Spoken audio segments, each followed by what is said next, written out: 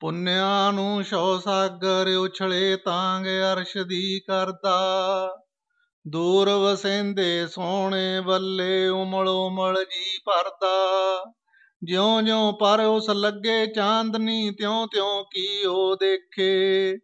ਪ੍ਰੀਤਮ ਦਾ ਦਿਲ ਪ੍ਰੇਮ ਤਰੰਗੀ, ਦਾਨ ਉਛਾਲੇ ਕਰਦਾ।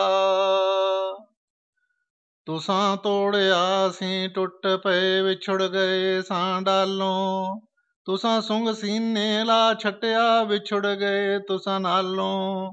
ਪੈਰਾਂ ਹੇਠ ਲਤਾੜ ਲੰਘਾਉਆਂ ਕੀਤਾ ਖੰਬੜੀ ਖੰਬੜੀ। ਪਰ ਸ਼ੁਕਰਾਨਾ ਸ਼ੋ ਤੁਹਾਡੀ ਦਾ, ਅਜੇ ਨਾ ਭੁੱਲਦਾ ਸਾਨੂੰ। ਸਿਕਦਾ ਸਿਕਦਾ, ਵੱਛਾ ਛੁਟਿਆ ਤਾਂ ਅੰਮੀ ਵੱਲ ਆਇਆ।